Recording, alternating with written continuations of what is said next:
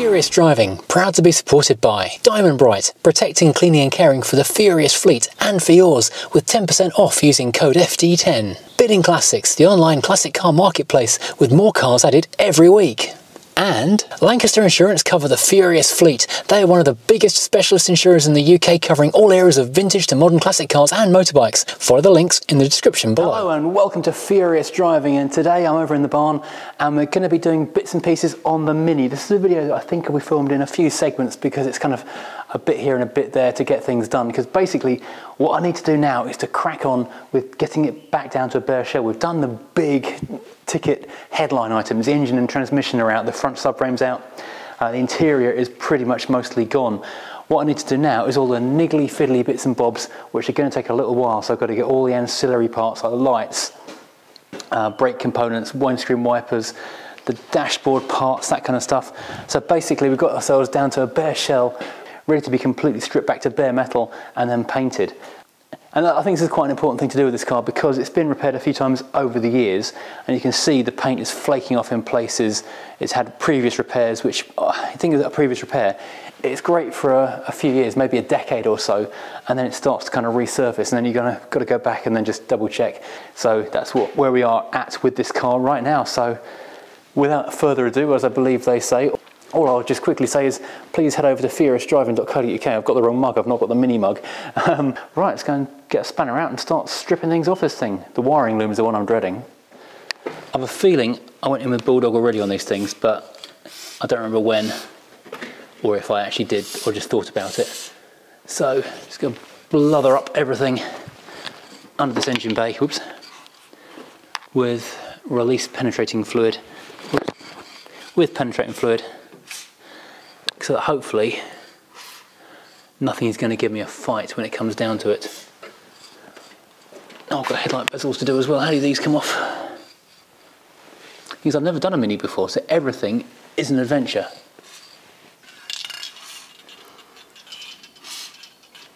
Now apparently this little plastic uh, grill just there is very rare indeed, so I need to make sure that comes off safely and in one piece. Thanks Mark for pointing that out. Hmm, these electrics look interesting. Before I had the Mini, pretty much every tool I had over here was in metric because that's what all the cars over here were. Um, my Rover P6s are all Imperial, so I've got quite a lot of Imperial tools over at home. So I've had to sort of gradually collect Imperial stuff over here. Fortunately, uh, a friend, his dad was uh, giving a clear out because he's not using any garage stuff anymore. Give me a nice Gedore or Geodore, whatever you call it, uh, Imperial socket set. And I picked up for two quid at the NEC the other day a basic set of Imperial spanners. So there's a few less things I need to be carrying over to the barn each time I come over here. Now I think it's going to be a half inch, isn't it?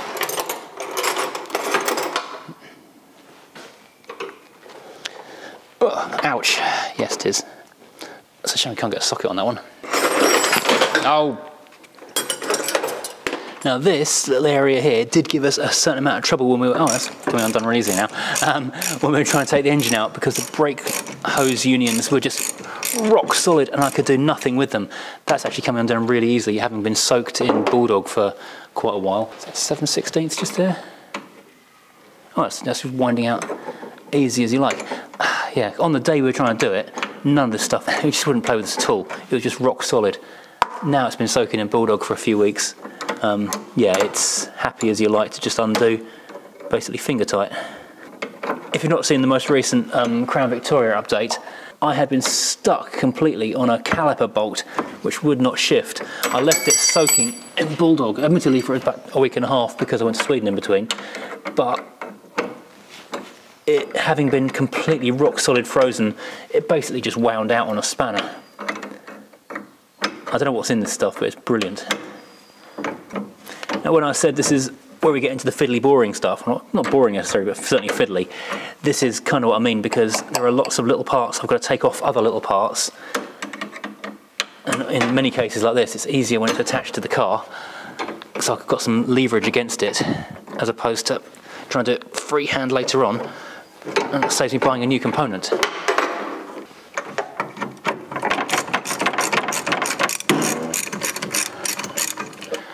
That's quite a long bolt. It's a half inch I reckon there. Hancock's half inch. Now is that captive? Is that, yeah, it's going to put a spanner on the other end, I should say. Because of course, oh, it's right down the far end now. Tell you what, it doesn't matter how well equipped your workshop is, unless you've got a magnet on a stick, you're not a proper workshop. Ta-da! All right, here we go.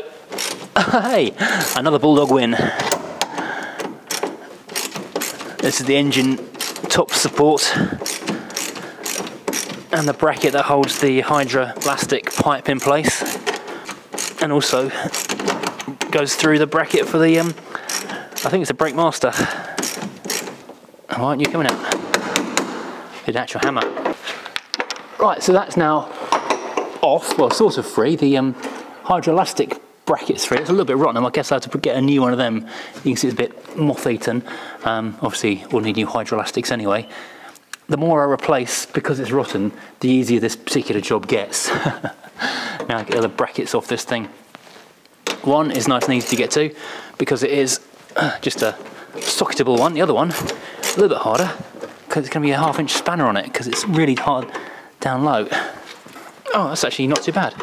Typically, I didn't bring my ratcheting spanners though today.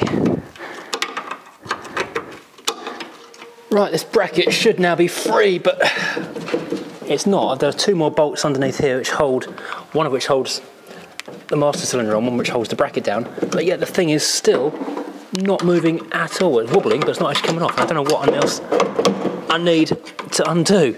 This is about half an hour of undoing stuff so far because everything's just very, very welded into place after after time has played its merry dance. I wonder if there's a bolt on the bottom of this inside the car.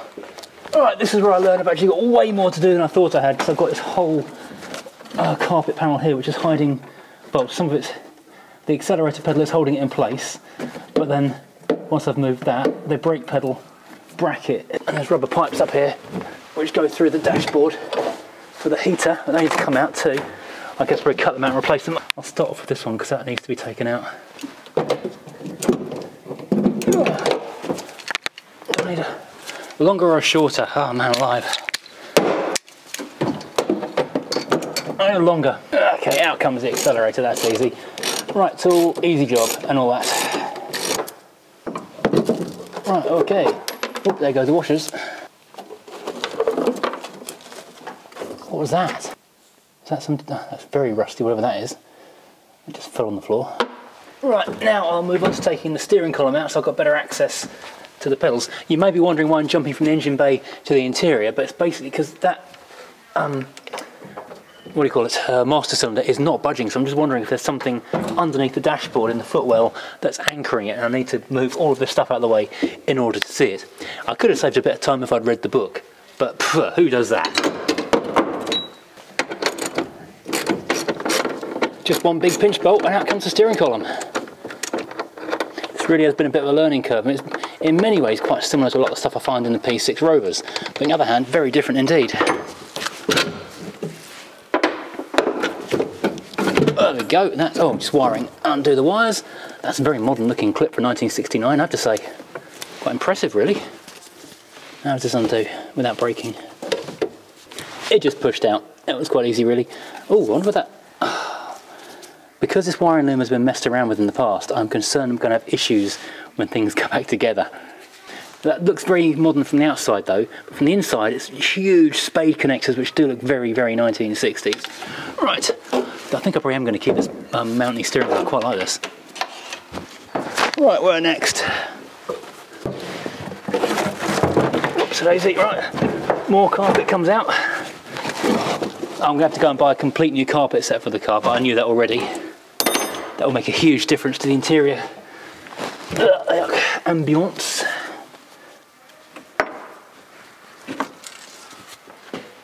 Can we see anything under here? Oh, there's a there's a bracket and stuff. I can't really see where it goes to.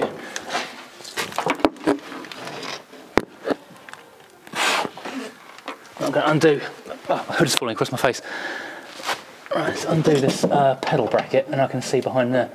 I of course do realise that this is very much the easy bit. Undoing everything is not particularly tricky. It's putting it all back together again when it gets too hard. And what's the point? Expensive. Right, I'm back in after a couple of days break. Uh, slight problem, the Freelander won't start, dead battery.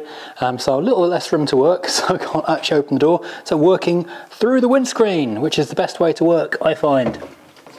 But it does mean I have a whole new perspective on this, and I've managed to find these two bolts, which I was struggling to see previously. So I guess that's something you can count as a good thing. Where's my half inch socket gone?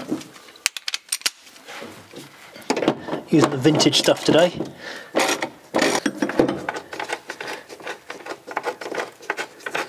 Is this not a captive nut again?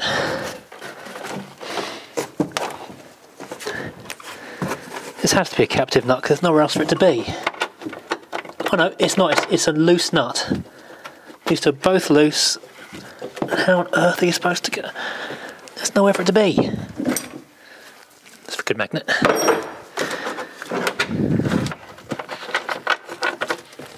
That's hammered up through there. Try and get this out now.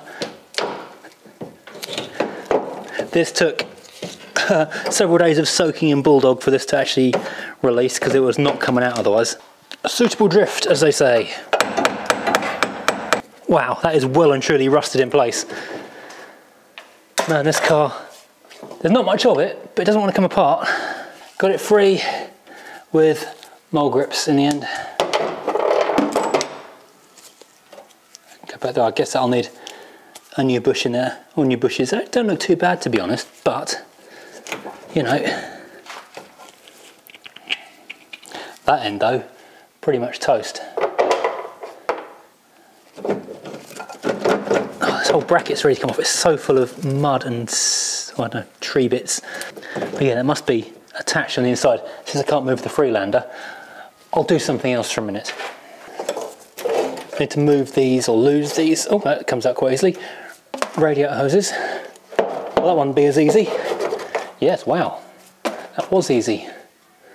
Pile of detritus is coming quite large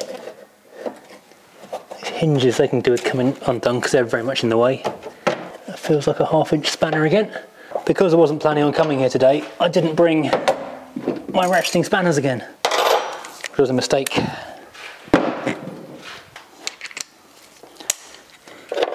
But that's too big to get in there. Right, had to go and attack that one with a metric because I left my Imperials at home. But that is thankfully, well, I loosened it off with an Imperial. That's one less thing to keep impaling myself on. Ah, I wonder if these things are different left to right. I don't think they are, but ooh, there's a little curve on that. But they're both the same. Okay, that's interesting. They've both got a, a con concave or convex, depending which side you're standing on, um, little thing. I will make a mark on that though. This is driver's side. So much easier to get access to stuff when you've not got an engine in the way. Mm, well, this is one of the things. It's going to be easier to take the hinge off. Oh, that's rusty. That looks really rusty. Proper rat's nest down there.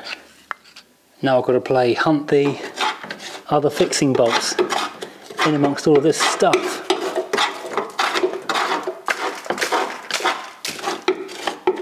So far I can only find one fix attachment. there. I'm guessing, oh there it is, there's the other one. Down there. Bulldog this so and so.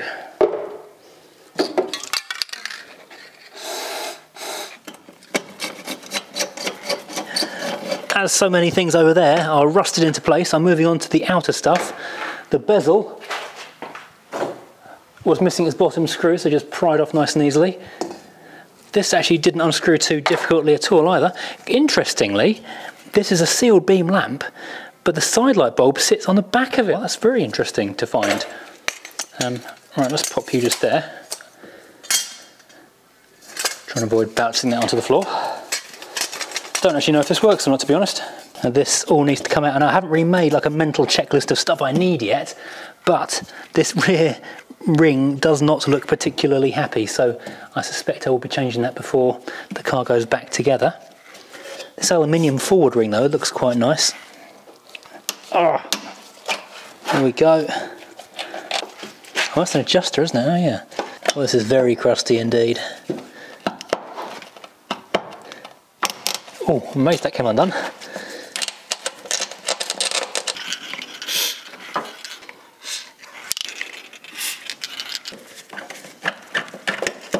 Well, the first one came off quite easily, apart from that final bit of bezel at the back, which was having none of it, frankly. Um, yeah, those screws are well and truly rusted in. I'll see what these new these bezels cost to replace as well, because they are very much a finishing touch. So obviously I don't want to damage these, but at the same time, I suspect I won't be using them. There we go. Full of, ugh, full of dust and rust. One thing I wasn't really sure about is why these have got um, springs holding the, um, the metal aluminium panel into the back of the light.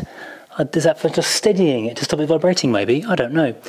Right, I need to head back to home again. I'm going to carry on in a few days time or later on today perhaps. I don't know when. Very soon.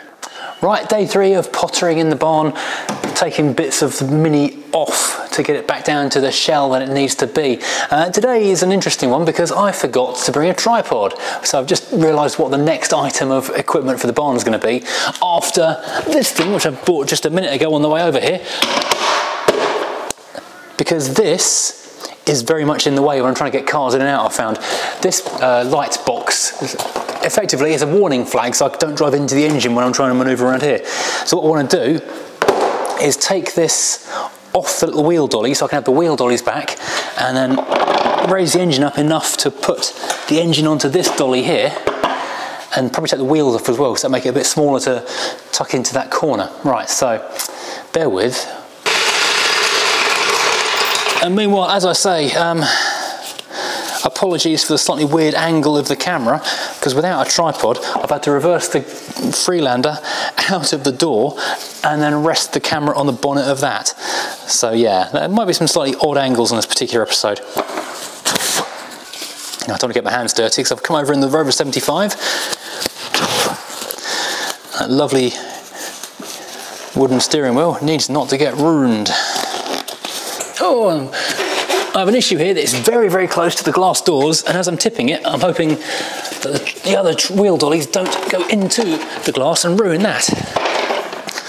Right, extendable breaker to the rescue. Oops. Oh my god, that's heavy. That's you, that is literally your back in. Oh, that's where I lose the window.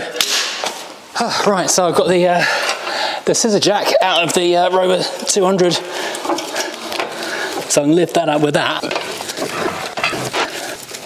If I can get that high enough, then that can roll in underneath there. And down it comes. And now, in theory, the whole lot should be able to roll forward. There we go, that's a bit easier. Right, let's find a screwdriver. Oh look, there's a screwdriver. Ugh. What size that is.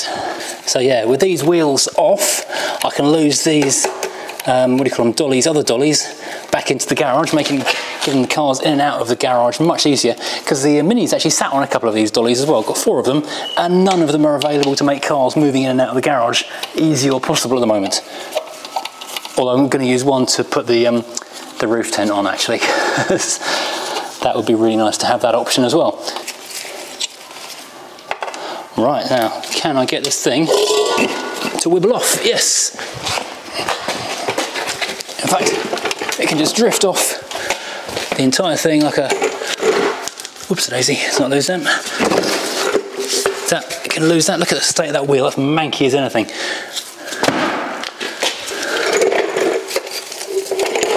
What a mess. So that is now smaller and easier to deal with. I'll put the other one off as well. And that means this engine can then pop into that corner of the garage or the barn much more easily because pretty much weighed down like a boat anchor before. And of course, while the uh, body is in pieces and being painted and stuff, all this front end will come apart and re-bushed and all everything else like that done. Excellent. Right, one down, one to go. That is brake number two. My God, it's got drum brakes. How did I not realise that before? Yeah, on both sides. Uh, that tyre does look a wee bit flatter than perhaps it should be. That's actually got incredible tread. It looks like it was a brand new tyre when it was parked up. Um, can't see what the brand is, gets squished. Max something. Anyway, it's not any good anymore. That's going in the bin. So we have got to make a decision about what wheels we put on this car. I'm thinking in terms of the future for paint, obviously going to stay sandy beige as it always has done because that is the car's original colour and it's kind of cute and fun and different um, but I'm thinking a black roof for contrast would be nice. I'm thinking rather than these little sort of daisy wheel cute very sweet hubcaps maybe go for centre caps and slightly wider steel wheels with just a, a basic centre cap or no centre cap at all. That might be quite cool and basic and give it a slightly rally car kind of vibe, which would be quite nice. I don't know, there's still many, many options and decisions to be made. But it is going to keep the original tartan red interior and for the most part the original sandy beige on the outside. Right, so yesterday, or like the other day when I was up here, the thing I got stuck on was taking this pedal bracket out for the brakes. And I was trying to work out where these two go to. It turns out these two bolts just here are held by buttons just there. Now I've got the door open, not buttons, nuts, just there. Now I've got the door open, much easier to figure this out. The whole no tripod thing is making this quite interesting. I've got the uh, camera balanced on a pile of used carpets. I'd actually forgotten I've got a complete set of 3 8 socket drive um, Draper sockets over here. I don't know how I forgot I had these. Um, oh boy, I brought them over here and forgot about them. Anyway, good to know I've got them because I can crack on with this now found a sharp bit down here. Previous welding, I can actually see now, looking at this, uh, which you can't, but there is, I think, previous floor pan welding evidence along the edge here, so I might have to take all of this out again. I don't know, see grind marks on it actually. So yeah, once it's all ground back, I might be starting that over again. Just because, you know, do fresh when I was reaching to the windscreen, I really could not feel this at all because I couldn't get my fingers around the wrong side. So now, can I remove, or I can move that bracket at any rate. Uh, no, still no. Why does this not come out? Oh, it does come out. Stuff came off the front. Aha. What fell off over there?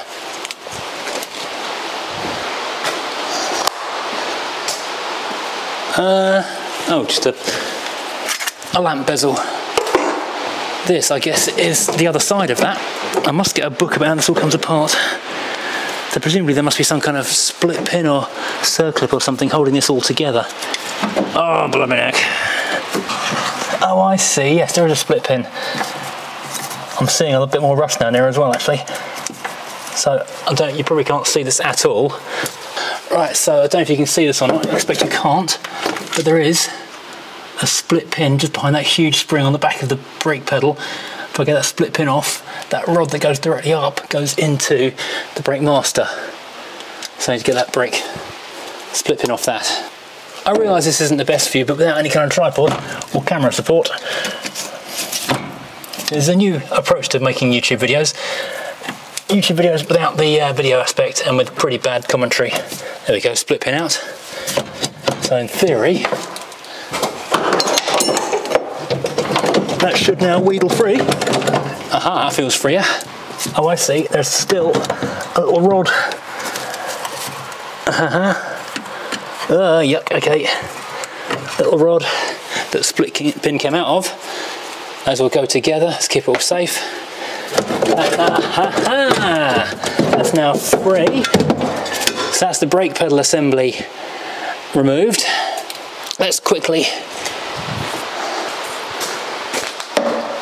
remove this at last because that's what was, there we go, that fork at the bottom, that's what the split pin and the rod were holding in place. So that's now out and free.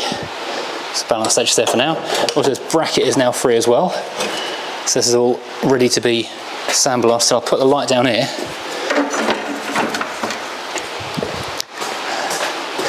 and you'll see what I was seeing, which is little holes, little holes. So I think once this thing is shot blasted or dipped or whatever, we are going to see quite a few more little holes, but nothing I hope too significant. Blimey, that took forever. It's amazing how much more we can get done if you've got any clue what you're doing. While I'm in here taking off big, easy targets, I might as well just whip off the handbrake as well. It's quite nice doing this half inch stuff. It's um, reminiscent of working on the P6. Okay. And the handbrake, you should note, isn't actually connected to anything. It's just a big handle in the middle of the car at the moment. There we go, another big chunk of the interior removed. I'll put those bolts through there so I don't lose them. And that's another thing, taken off the car. Okay, now I would really like to get this little in control panel here. I think there are just two little tiny, tiny weeny screws on the back of it. Let me so try and show this up to you. Now, whether or not you can see this, but there should be a little tiny weeny, I don't know what size it would be in, in Imperial, but it's going to be about four millimeter in metric at either end I need to undo. So, working by touch here I think probably. So this is actually coming off with an 8 millimeter. And actually coming off by hand as well, not even needing a socket at the minute, although an extension bar would have been handy to get a bit of access in there. Oh, I need an extension bar for here now. Yep, extension bar time. Okay. Now I can get some out. Probably, no I can't. Right, so this is now hopefully ready to pull out, although the fact I've got, yeah, as I unintentionally demonstrated there, the choke and the heater cables pushing through it. Right, so let's try and get this wheedled out.